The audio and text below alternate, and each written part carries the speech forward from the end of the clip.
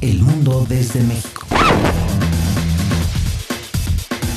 Hola, ¿qué tal? Yo soy Ciro Di Costanzo y estas son las noticias en el mundo. Brasil arde en la semana de arranque. Tres días dará inicio a la Copa del Mundo en Brasil y la tensión social simplemente pues no da tregua en este gigante carioca.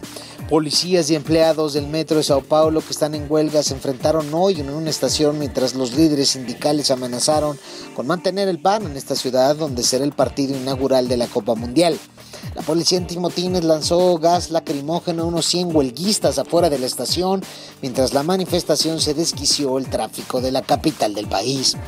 Autoridades están muy preocupadas porque el metro precisa y justamente será el principal medio de transporte para quienes acudan al partido inaugural del jueves, cuando Brasil reciba a Croacia.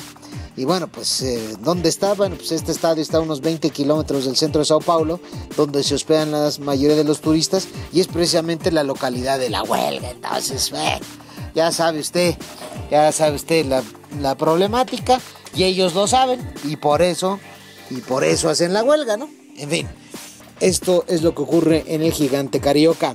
A través de Blue Report estamos explorando el mundo semanal Brasil, para que usted conozca más de este país, fascinante sin duda alguna, pero también lleno de problemas. Y desde luego tenemos y le prestamos esta sección de El otro Brasil, aquello que ocurre en Brasil que no tiene que ver con el fútbol, pero que desde luego impacta el mundo futbolero. En fin, dejamos Brasil y me voy hasta el Magreb, en Egipto. Jura como nuevo presidente al-Sisi.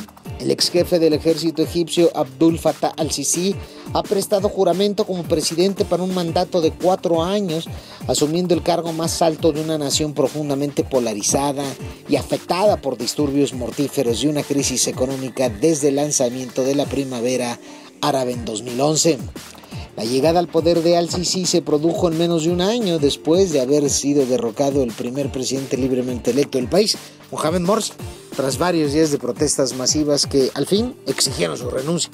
Sisi tuvo una victoria aplastante en las elecciones presidenciales del mes pasado al recibir 97% de los votos, pero solamente tuvo 45.47% de la participación, lo que tampoco consolida por completo su legitimación.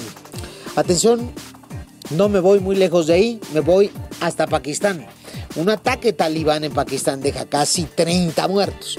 Esta madrugada se registró un cruento ataque en el aeropuerto internacional de Jinnah, o Jinnah, que es la ciudad más grande de Pakistán. Diez atacantes irrumpieron en dos áreas equipados con tocho morocho, o sea, con chalecos suicidas, con granadas, con lanzacuetes en esta estratégica instalación. El ejército pakistaní obviamente de inmediato les hizo frente y se armó la balacera. El movimiento de los eh, talibanes de Pakistán, TPP, reivindicó el ataque como represalia por la muerte de su líder Hakimullah Meshud en noviembre por un disparo de un dron estadounidense en las zonas tribales del noroeste de Pakistán. El ejército informó que el saldo fue de 29 muertos. Por cierto, 10 de ellos eran los atacantes. Bien, me voy hasta España, donde este reino de España recibe la visita del presidente de México. El presidente Enrique Peña llega a España para una visita de Estado. Desde que el TPI-01 sobrevolaba los cielos españoles, dos Eurofighters escoltaron el avión presidencial como parte de los protocolos de bienvenida. El presidente fue recibido por los reyes de España y los príncipes de Asturias, que una vez consolidada la ley correspondiente van a acceder al trono español este mismo verano.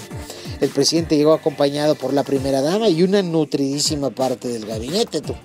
Al participar en un foro empresarial, lamentó que México se le estigmatice por la violencia. El presidente reconoció los desafíos en Guerrero, en Tamaulipas y en Michoacán, pero puso ejemplo en Nuevo León para argumentar que su estrategia en materia de seguridad funciona. Así son las cosas y así se las hemos contado a usted. Manténgase informado a través de bluereport.com.mx y amplía tu mundo. Report. El mundo desde México.